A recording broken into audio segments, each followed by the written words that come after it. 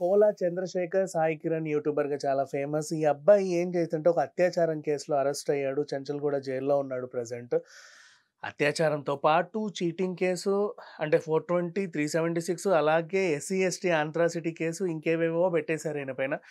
అసలు ఏం జరిగిందో కనుక్కుందాం. యాక్చువల్లీ చాలా రోజులుగా ఇతను ఎప్పటి నుంచో ఒక అమ్మాయితో ప్రేమలో ఉన్నట్టుగా అయితే తెలుస్తుంది. And two thousand twenty one April twenty fifth.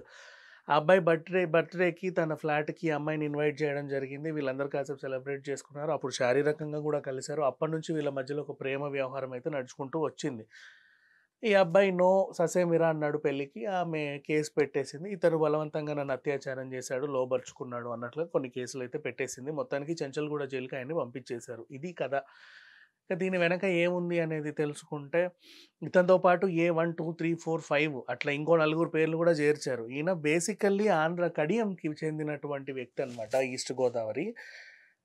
తర్వాత యూట్యూబ్లలో చిల్లా వీడియోలు చేసుకుంటూ కొంచెం కొంచెం క్రమక్రమంగా ఎదిగాడు. మన సన్ సిటీ అంటే బండ్లగూడ జాగిరి కాళీమందిర్ ఏరియా దగ్గర ఉన్నటువంటి జైన్ బిల్డింగ్స్లో తొమ్మిదిన్నర అంటే పై ఈయన ఉండేవాడు అనమాట సరదాగా గడ ఇల్లు గడపడము వీడియోలు చేసుకోవడం నాకు బాగా అలవాటు. ఎప్పటి నుంచో ఒక అమ్మాయిని అయితే ఇష్టపడ్డాడు ఇష్టపడ్డాడని చెప్పను. వీళ్ళిద్దరు కలిసి అయితే జర్నీ చేశారు. ఆ అమ్మాయి ఎస్సీ కావడం ఎస్సీ ఎస్టీ అంటారు అంటే దళిత ఉమెన్ కావడం ఇతను ఓసీ కావడం కాపులు. సో ఇక్కడ ఎస్సీ ఎస్టీ ఆంట్రాసిటీ కేసు కూడా నమోదైంది మొత్తానికి. సో ఇక అసలు విషయంలోకి వెళ్తే సి కలిసి ఉన్నప్పుడు అందరూ బాగానే ఉంటారు. విడిపోయినప్పుడు ఒకరి మీద ఒకరు కేసులు పెట్టుకుంటారు. నాకు తెలిసి ఇద్దరు ఇద్దరి తప్పు ఉండే ఉంటుంది. ఒకరి తప్పు ఉంటుంది అంటే నేను ఒప్పుకోను. మరి ఈమెను అనరాని మాటలు అంతగానో ఏమన్నాడో తను హట్ అవ్వడానికి ఏ కేసు అయినా సరే ఫస్ట్ చర్చల్లోకి వెళ్తుంది. ఎవరు కూడా ఎఫ్ఐఆర్ పెట్టుకోమని చెప్పరు. కలిసి ఉండండి అనే చెప్తారు. ఏ పోలీసులు అయినా సరే. నేను కలవను అతనితో ఉండను అని బలంగా డిసిషన్ తీసుకొని మరీ పోతున్నారు అంటే మరి దీంట్లో తీవ్రత అర్థం చేసుకోవచ్చు. పెళ్ళైనా విడిపోతున్నారు. అదేం పెద్ద విషయం కాదు. పెళ్ళైన తర్వాత ఏమైంది? నాలుగేళ్ళకు విడాకులు వీళ్ళు నాలుగేళ్ళు కలిసి ఉండి బ్రేకప్ చెప్పుకున్నారు. అంతే. దానికి దీనికి పెద్ద తేడా ఏం లేదు. కాకపోతే విడిపోయారు అంతే. అత్యాచారం లాంటి కేసులు అయితే పెట్టారు మొత్తానికి.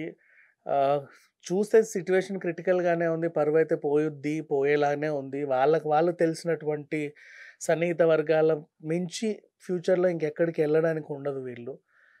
సరే ఏదేమైనా ఇతను బయటికి వచ్చి అంటే ఆ అమ్మాయి అయినా ఎవరైనా సరే బయటకు వచ్చి అసలు ఏం జరిగిందో చెప్తే కానీ మనకు పూర్తి ఇప్పుడు నిన్న కాక మొన్న కేశవ్ కూడా అలాగే అరెస్ట్ అయ్యాడు. అంతకుముందు కూడా చాలామంది ఒకరొకరు అంటే వీళ్ళు సెలబ్రిటీ హోదాలో ఉన్నారు కాబట్టి అందరికీ తెలుస్తుంది వీళ్ళు ఏమేం చేస్తున్నారు అనేది. పర్సనల్గా చాలామంది ఇలాంటి వాళ్ళు ఉంటారు కానీ మనకు తెలియదు బేసికలీ అండ్ ముఖ్యంగా ఈ రంగుల ప్రపంచంలో ఏమవుతుంది అంటే ఇప్పుడు సంబంధం లేని అబ్బాయి సంబంధం లేని అమ్మాయి. ఒక సీన్లో వాళ్ళని కలుస్తారు పీదబడి డొల్లిస్తారు ముద్దులు పెట్టిస్తారు అక్కడ దాకా తీసుకెళ్ళి కట్ చెప్తారు.